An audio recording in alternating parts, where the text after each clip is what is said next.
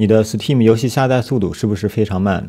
比如说你原来有五百兆的基础宽带，但是你下载游戏的时候只有两到三大 MB 的速度，像这样的情况可能挺多见的。呃，之前出了一个黑神话悟空的游戏是吧？我看了一下，好像一百一百几十 GB，比那个赛博朋克2077还多一倍。像这样的游戏，如果下载的时候如果只有两到三大 MB，那就很难受了，可能要下一天。因为 Steam 它是一个全球的服务，虽然它砸钱弄了很多服务器、很多 CDN，但是每个人的设置都有可能不一样，这是个很复杂的事情。所以我接下来罗列了几个方法。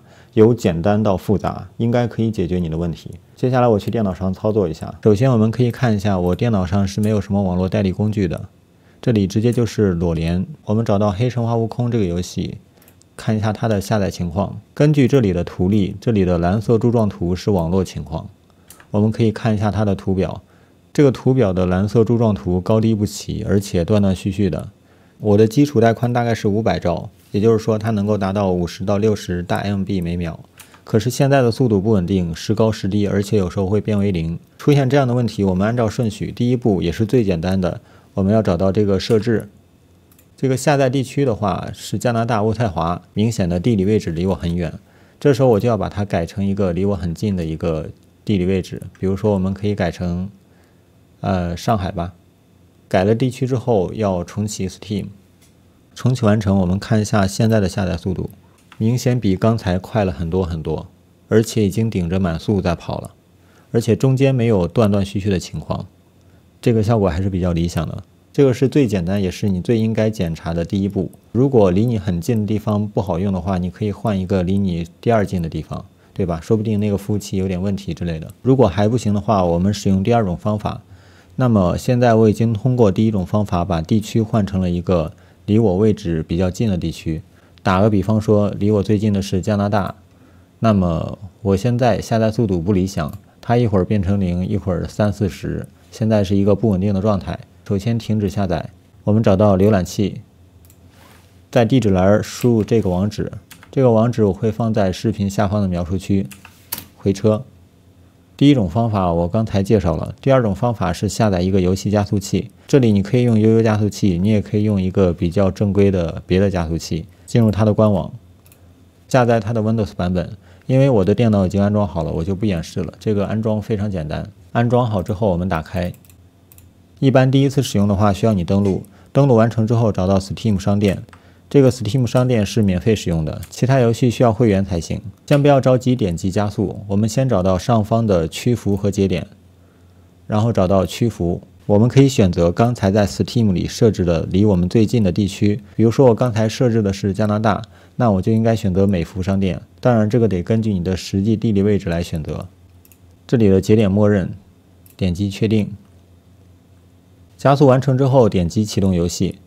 Steam 启动之后，我们再找到游戏下载，点击下载。这时候它的连接节点之类的被优化过了，所以它能够保持一个比较高的速度下载。这个方法我之前也试过，是可以用的。但是你要保证这个地区是离你最近的位置，并且在加速器里选择要选择相应的地区，否则就绕远了。这里说一个题外话。因为我之前做过关于 Steam 登录不上之类的问题，然后有很多人问我，他的 Steam 还是登录不上。这个 UU 加速器里有一个修复工具，你可以用一下。首先，我们找到它的设置，找到设置，然后找到这个自助修复，这里有一个修复 LSP。如果你的 Steam 登不上或者下载速度慢，你可以再点击一下这个按钮试一下。这个我之前使用各种代理，然后又使用 Tunnel 模式，然后把网络搞得很乱。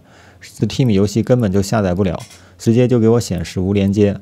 我就是通过这个按钮修复的，所以如果出现什么问题，不妨来试一下。话说回来，如果这个方法你的下载速度还是很慢的话，那么我们可以停止加速，回到刚才的帖子里，找到第三种方法，下载语义城的工具，点开它的官网，往下滑，找到它的最新版本，下载。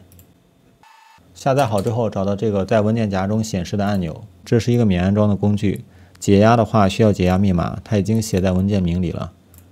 直接复制，右键解压，解压到此处，输入密码，确定。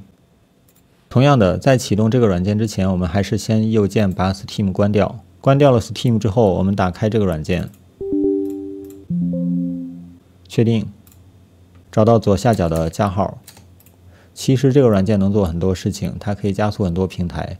我们找到 Steam，下面有游戏下载的相关选项，你可以根据自己的情况选择。比如说离我最近的是上海，那么我就把它选择大陆地区。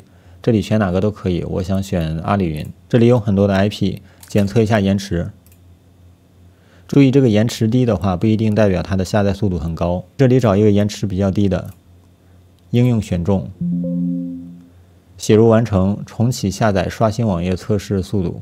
若出现任何错误，请回到这里清除 host。这个原理其实就是修改了 host。重启下载，我们不用重启，因为我们刚才已经把 Steam 关掉了。我们现在打开 Steam 就可以找到下载，看一下地区，比如我的物理位置最近的是上海。那我刚才选择的是国内的阿里云，重新下载试一试。下载看一下它的速度，六十八、六十九、六十二，还是非常高的。等一会儿看它的速度稳定性怎么样？速度看起来不错，比较均匀，没有掉。这个蓝色的柱状图没有归零的情况。如果还是不好用的话，你可以暂停下载，然后把 Steam 关掉，回到这个软件里，点击清除当前。清除了 host 之后，我们可以选择一个别的 IP 测试一下。如果你的网络出现了什么问题，你可以回来把这个清除当前点击一下就可以了。正常的 host 里面应该是没有什么规则的。其实做这个速度下载的测试，我觉得还是挺不容易的，因为我这里的网络速度我觉得还可以，所以我要复现那种网络条件不好，然后再挨个测试，不是那么容易。不过我刚才讲的方法都是有用的。